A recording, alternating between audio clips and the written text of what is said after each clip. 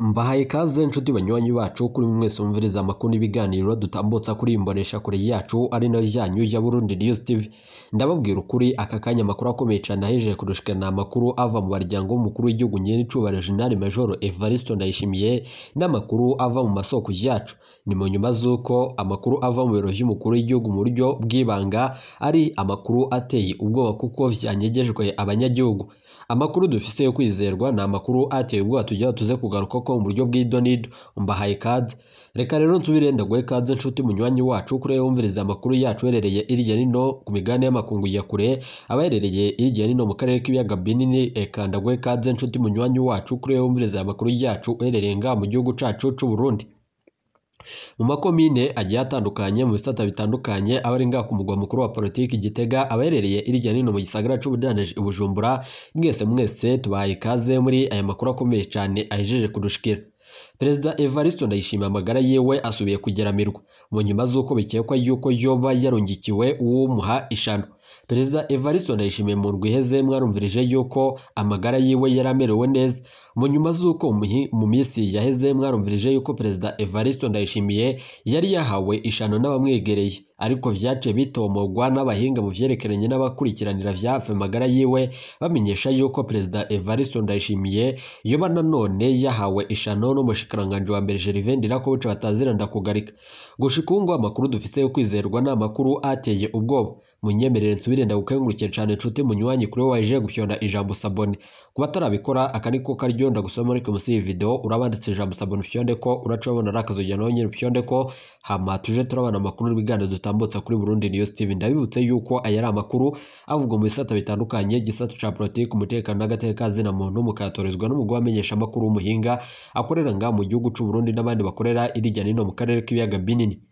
gushika ubu ingingo nkuru nkuru turazifatira ku makuru akomeye cyane ahejeje kudushikira perezida evariste ndayishimiye agiye gusubizwa kuvurirwa mu makungu mu nyuma z'uko ibitaro bya Carlos natwe turashoboye gushika ubu ngubu amakuru dufise ari amakuru ateye ubwoba yemeza yuko abahinga abadogiteri bakoreramwo gushika ubu ngubu bananiwe ni mu nyuma z'uko mbibutse yuko ku igenekerezo nanone ry'umunani ruhesha umwaka w'ibihumbi na mirongo ibiri na gatatu perezida umuyisi petero nkurunziza ariho nyene yacikaniye bivugwa yuko ariho yacikaniye ariko nanone amakuru yo kwizerwa ahari arateye ubwoba perezida evaristo ndayishimiye umuhinga nanone aturuka mu gihugu cy'ubwongereza yahora yita ku magara yiwe umwe mu barundi barungitswe gukarihirizwa ubumenyi mu bijyanye no gukurikirana amagara y'abantu amenyesha yuko perezida evaristo ndayishimiye amagara yiwe ariko aranonekara na cyane cyane nk'uko abishikiriza akamenyesha yuko perezida evaristo ndayishimiye agiye kumara iminsi igira ine atarenga mu gihugu cy'uburundi bivanye n'amakuru ahejeje kudushikira avuga yuko perezida evaristo ndayishimiye yahaye amasezerano akomeye cyane umunyamabanga mukuru w'umugambwe uri ku butegetsi wa SNDF de Colonel Senateri Reverien Yano Ndikuriyo biremeza yuko Perezida Evariste Ndayishimiye nawe wenyine yoba afise icoba gikomeye cyane yuko ashobora kuba ikintu gikomeye cyane mu nyuma z'uko agiye kujya kuja nanone kwivuriza nanone mu makungu mu kinyegero amakuru dufise urugendo rwa perezida Evariste Ndayishimiye rwoba nanone rwari rwateguwe n'abategetsi batari bakeya mu nyuma z'uko icegera ciwe Prosper Bozombanza nanone yamenyesheje yuko ata kibazo gihari mu nyuma z'uko amakuru akomeye cyane ava muri serivisi de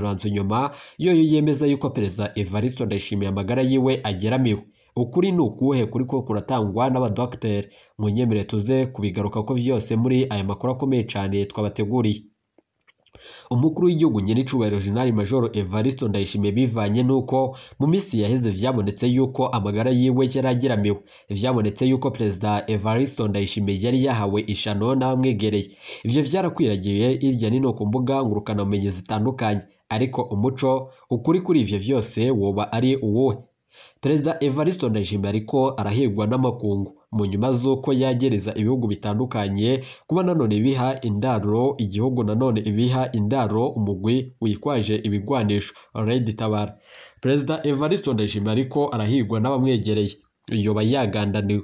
biravugwa yuko Jenerali arenga iyo munyuro wahoze ari umushikiranganji wa mbere ngaha mu gihugu cyacu cy'u yashize ko amadolari ateye ubwoba kuzohereza perezida Evaristo Ndayishimiye akamuhagarika umutima bivanye n'uko Jenerali arenga iyo mu nyoni ijambo rikomeye cyane ku makuru akomeye cyane yaje kudushikira yemeza yuko nanone perezida Evaristo Ndayishimiye ari imfyisi nk'izindi mu nyuma z'uko yamutaziriye vuvuzera ariko Jenerali arenga iyo mu nyoni bica vyumvikana yuko yabona yuko nyene icubahiro Major Evaristo Ndayishimiye atari vuvuzera bivanye n'uko yashize mu ngiro ingingo ikomeye cyane yo kumupfunga no kumuboreza egufa ubuzima bwiwe bwose perezida evariste ndayishimiye gusa ubu ngubu atamukunzi atamugenzi agifise abanyagihugu batanguye kwiyongora ku kagwi kiwe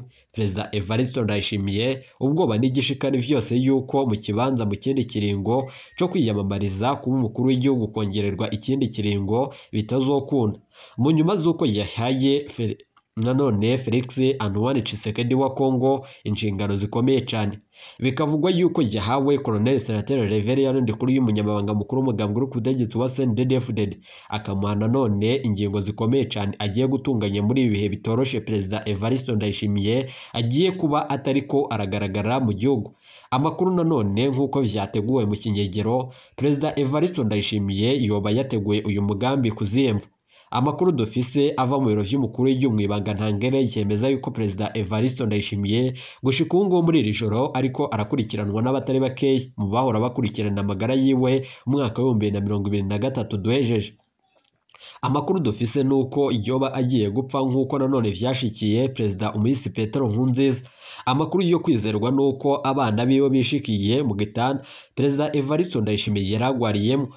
aho nanone kera inkuru nziza yasubiye kwibonekeza ari kumwe n'umutambukanyi w'umukuru w'igihugu angeline ndayishimiye ndayuba mu nyuma z'uko amakuru dufise yo kwizerwa yemeza yuko Keri inkuru nziza yasubiye kugirwa umwizerwa mu nyuma z'uko ari we azi nyene uburyo nanone azokurikirana perezida evariste ndayishimiye biraboneka yuko kera inkuru nziza umwanya ku mwanya mu minsi iheze nk'uko vyari vyavuzwe y'uko General Prime Niyongabuye ariko arabandanya kugerageza kumuha isumu nk'uko barihaye papa wiwe amubyara amakuru dufise ateye ubwoba aremeza yuko kera inkuru nziza gushika ubu ngubu nawe wenyine ahejeje gufata ingingo ikomeye cyane iyo bari we azobandanya erekeza perezida Eva Ndayishimiye mu rugendo agiye kugira mu gihugu cy'ubwongereza mu kinyegero amakuru dufise ava mu biro vy'umukuru w'igihugu aremeza yuko perezida Evaristo Ndayishimiye mu rugendo rwiwe nanone bizokorwa na cane cane nubwo afise ubwoba n'igishika mu nyuma z'uko abahanuzi biwe bamenyesha yuko uru rugendo rwiwe rugiye kubamwo ibibazo bikomeye cyane na cane cane bitazomusiga amahoro perezida Evaristo Ndayishimiye nka generale kizigenza akomeye cyane nga mu gihugu cy'u Burundi yoba nanone yagiye guhura n'akaga gakomeye cyane ntibisiguritse kumva ukungere perezida nanone yoba ariko arabandanya ibikorwa bitandukanye mu nyuma z'uko bamwe bamwe mu bari mu mugambwe wa CNDD-FDD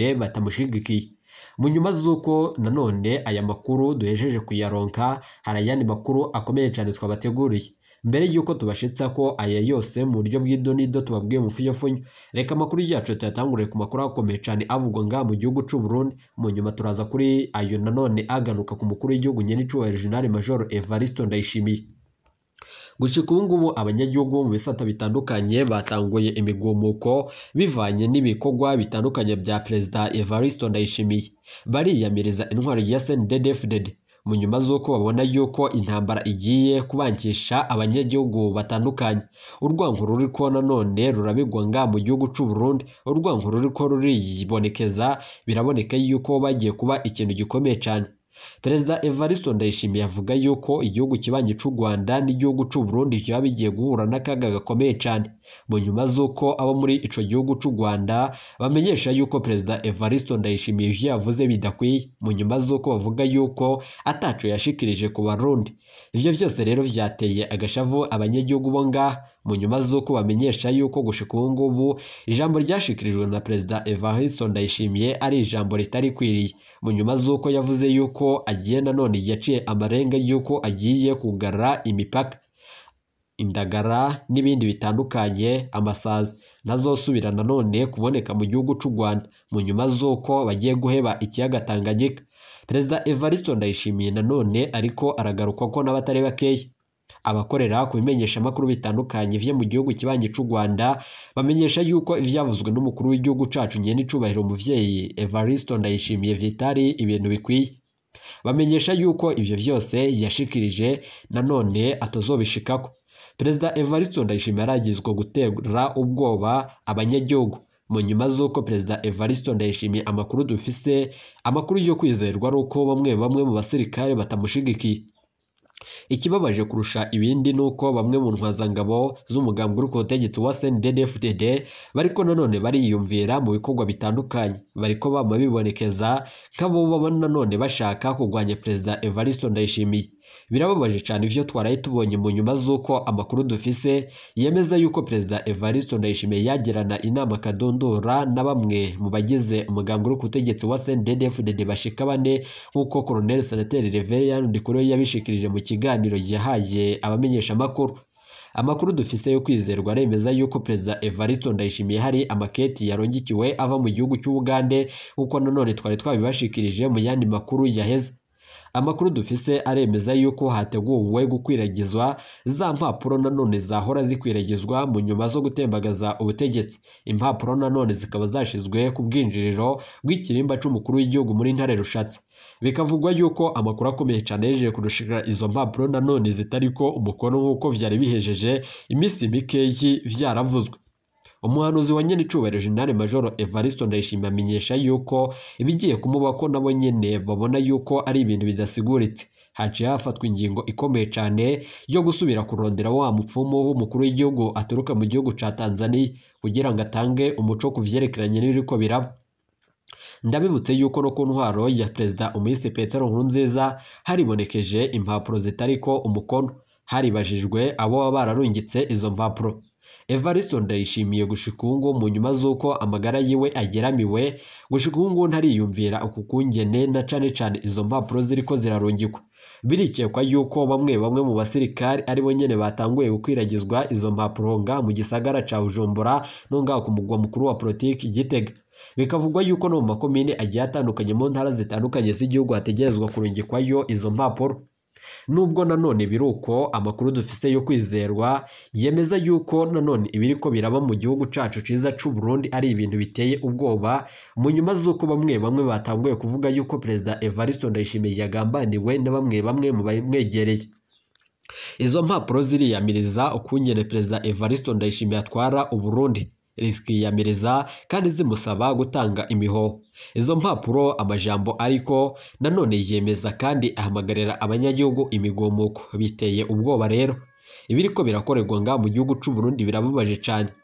ese koko generale arengiyo mubonyono wahoze ari umushikiranganji wa mbere nga mu gihugu cyacu burundi yoba ariko arashira amahera na cyane cyane mu bijanye n'ibikorwa byo guhungabanya umutekano w'igihugu munyemere tuze kubigarukaho kandi dutanga umuco kuri ayo makuru ayandi y’ububeshi ariko arakwiragizwa mu ibero rikuru rya Gitega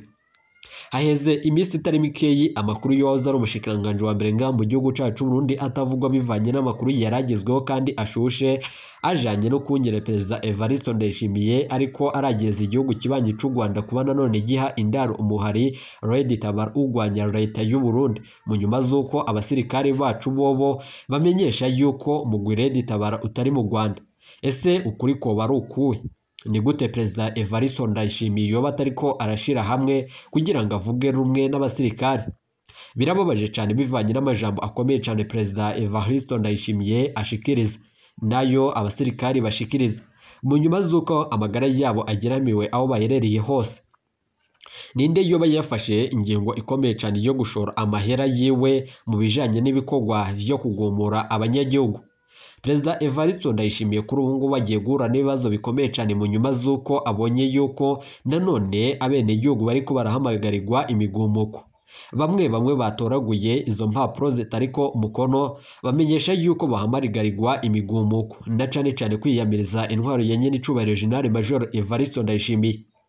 umwe mu bategetsi bakomeye cyane amenyesha yuko izo nkozi z'ikibi zo zarungitse izo mpapuro zoba ari izishaka gushira ko perezida Evaristo Ndayishimiye ibara kandi zoba ari izishaka kumwicira amatora amakuru akomeye cyane yejeje kurushikiraho nk'uko byatanguwe kuvugwa hoba hari umugambi ukomeye cyane urimwo umushikiranganji wa mbere Gervais Nderakobuca bataziranda kugarika bivanye n'uko nawe haheze iminsi itari mike hari umugambi ukomeye cyane wo kumugandagura